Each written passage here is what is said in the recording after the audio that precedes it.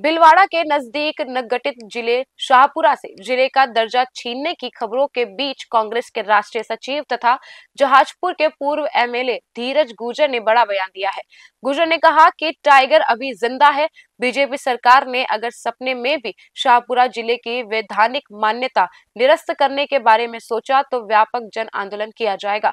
गहलोत राज में भिलवाड़ा से अलग होकर नया जिला बने शाहपुरा के बारे में इन दिनों कयास लगाए जा रहे हैं कि जल्द ही शाहपुरा ज़िले का दर्जा छीन सकता है। इन अफवाहों के बीच कांग्रेस राष्ट्रीय सचिव धीरज गुर्जर ने कहा कि यदि भजनलाल सरकार शाहपुरा से ज़िले का दर्जा छीनती है तो कांग्रेस पार्टी एवं जनता इसका पुरजोर तरीके से विरोध करेगी।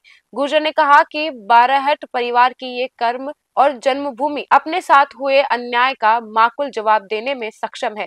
इतिहास गवाह है कि शाहपुरा की धरती पर बड़े जन आंदोलन हुए हैं।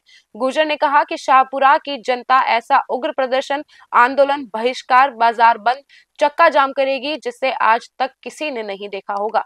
हाल ही में शाहपुरा विधायक लाला राम बैरवा ने भी ज़िले को यथावत रखने के लेकर मुख्यमंत्री व विधानसभा अध्यक्ष से मुलाकात की है। अब ये देखना दिलचस्प होगा कि किसी जमाने में शाहपुरा बचाओ समिति के करता धरता रहने वाले मौजूदा एमएलए साहब अपने ज़िले की लाज कैसे बचा पाते हैं? शाहपुरा से विकास जोशी की रिपोर्ट। विगत समय जब राजस्थान में नए जिलों का गठन हुआ, तब केसरी सिंह जी बारठ की पवित्र भूमि को अशोक गहलोत जी ने नए ज़िले की सौगात शाहपुरा के रूप में दी थी। आज खबरें आ रही है इस तरह की कि भारतीय जनता पार्टी समीक्षा के नाम पे शाहपुरा ज़िले को वापस छीनना चाहती है। ये शाहपुरा की जो सौगात हमारे को मिली थी, ये केसरी सिंह जी बारठ की पवित्र भूमि, जो बरसों पुरानी लोगों की मांग थी, जब तक मैं ज़िंदा हूँ, इस ज़िले से ज़िले का स्टेटस छीनने नहीं देंगे। चाहे हमें सड़कों पर उतरना पड़े, हमें आंदोलन करना पड़े, लड़ाई लड़नी पड़े, लेकिन शाहपुरा जहाजपुर की जनता को जो ज़िले की ये सौगात मिली है, उसको हम लोग कायम रखेंगे।